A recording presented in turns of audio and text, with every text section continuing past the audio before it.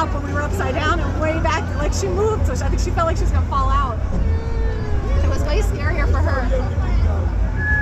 It's okay. I held you the whole time. It was okay.